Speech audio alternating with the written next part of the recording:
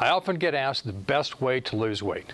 Well, there are lots of ways, and you've heard of lots of miracle diets, miracle foods.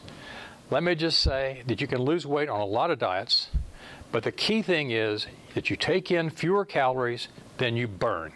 That ultimately, that has to be the case. Typically, people find that the fastest way to lose weight is to lower the amount of carbohydrates in their diet.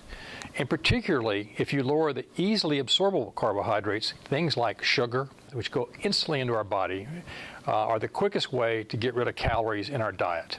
You can also eliminate things like bread and pasta, which are another forms of carbohydrates. Usually, this is the quickest way to get some pounds off. Now we have to figure out how to maintain that weight, and the body will try to put it back on. Uh, and so you need to find a way to modify your diet so you can begin to incorporate some bread or pasta and not get, regain the weight. This is simply going to be a matter of the portion size or how much you exercise.